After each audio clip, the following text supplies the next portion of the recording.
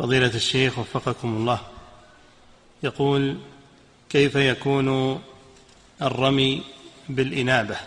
هل يرمي واحدة عنه وأخرى عن موكل؟ لا, لا يرمي عن نفسه أولا سبع حصيات ثم يرمي عن المنوب عنه سبع حصيات. لا بأس أن يكون في مكان واحد يرمي عن نفسه أولا سبع حصيات ثم يرمي عن المنوب عن سبع حصيات ولو في مكان واحد.